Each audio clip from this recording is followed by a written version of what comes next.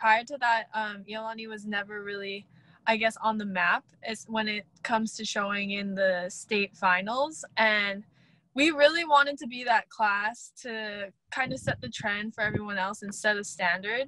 And I think having that in mind and getting that win really had had us in a mindset saying like hey we can do this like this is our mission and this is for our school this is who we represent so i think that win was it was it was awesome. I mean i i vaguely remember it but i mean that season in general was it was very memorable. We missed out on our senior trip to the big island.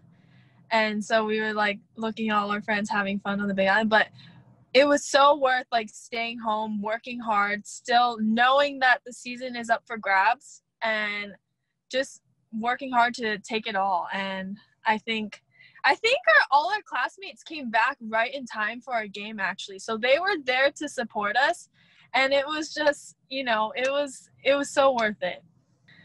It's always hard to like beat a team over and over again when you like keep playing them. Like there someone's either bound to win and you learn so much by playing them. So it obviously made it a lot harder but for both sides and i think um, strategy is very important and just making those little adjustments in in the game while you're playing is huge too.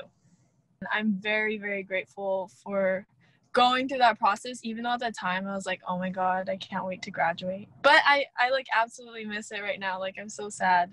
Um but yeah Iolani does a great job. I think playing volleyball while going to school there it's it's essentially the same thing but you're just at a different level. Um the the whole schedule is the same thing doing your own stuff on your own time taking care of what you need to do and prioritizing everything. It's it's essentially the same.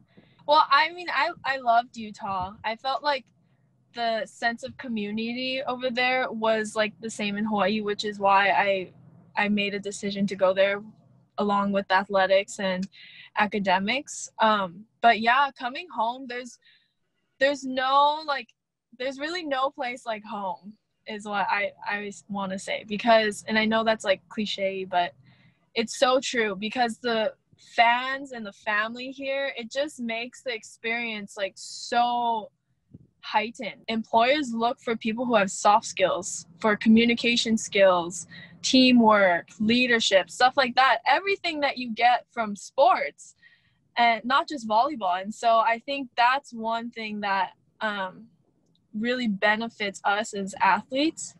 And i think that's why i would encourage everyone to you know be be part of a team because that's where you learn and and then that will make you i guess marketable in the in the career world